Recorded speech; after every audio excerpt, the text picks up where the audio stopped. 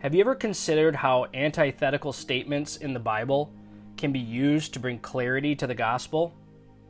Antithetical assertions are effective because they help people see contrasting consequences. Just as a diamond sparkles brighter when it is laid on a black cloth, the gospel shines brighter when contrasted with the darkness of sin and deception. There are many antitheses revealed in God's Word, including Christ and Antichrist, advocate and adversary, believers and unbelievers, eternal life and eternal death, light and darkness, justification and condemnation, truth and error, righteousness and lawlessness, the church and the world, regenerate and unregenerate men, heaven and hell, and children of God and children of Satan. Death versus life and man's wages versus God's gift. One of the most powerful and consequential uses of antithesis is found in Romans 6, verse 23. For the wages of sin is death, but the free gift of God is eternal life in Christ Jesus our Lord. In this verse, wages is contrasted with gift, and death with eternal life. These are powerful words that are direct opposites. God's free gift of grace is not something anyone can earn as a wage for our works. Instead, Paul presents man as affecting his own death by the wages of sin. However, God offers man eternal life by his grace, which is totally free of man's merit. The law of antithesis is used by the Holy Spirit to show the helpless state of sinners and the incomprehensible grace of God. Paul repeats this assertion that God's saving grace must be exclusive of man's works in Romans 11, verse 6. For if it is by grace, it is no longer on the basis of works. Otherwise, grace is no longer grace. Salvation is all of God and not of man. Two verses that have set so many Roman Catholics free from the bondage of religious deception are Ephesians 2 8 9. For by grace you have been saved through faith, and that not of yourselves, it is the gift of God, not as a result of works, so that no one may boast.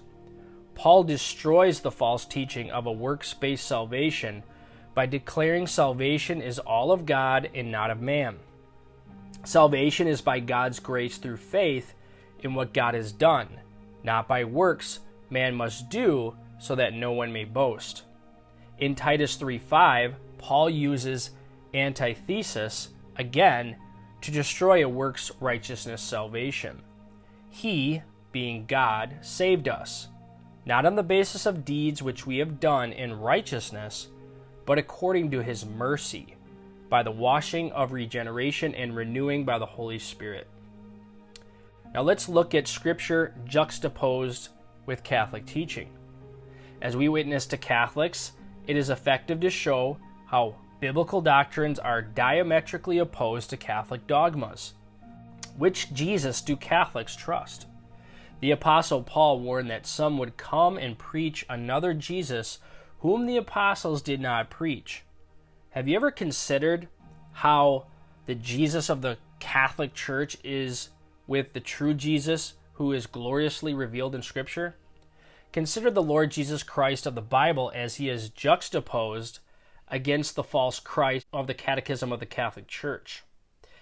Jesus gives believers eternal life and promises they will never perish. John 10 28.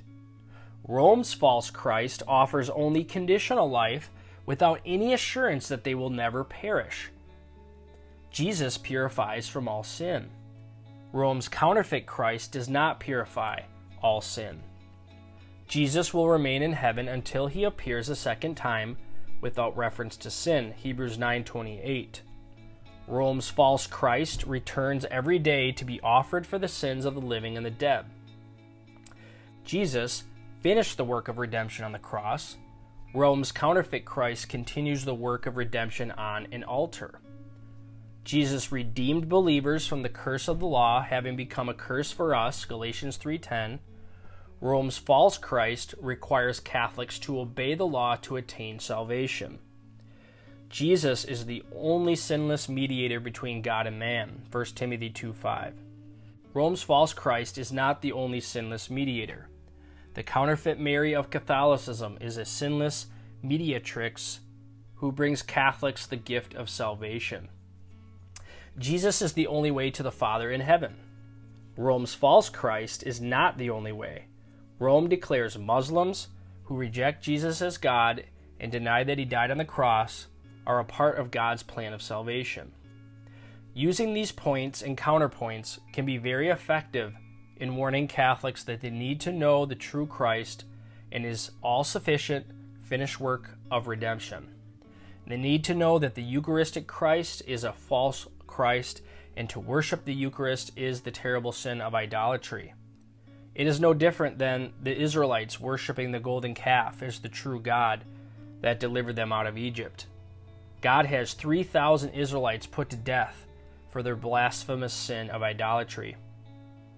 At the end of time, the Good Shepherd will divide the sheep from the goats. The human race will be divided into two groups throughout all eternity. Some will enter into the joy of eternal life with their Savior, others will depart into eternal punishment. This should motivate us all with a sense of urgency to lovingly confront people with the truth of the gospel. People will never know they are deceived until they are confronted with the truth.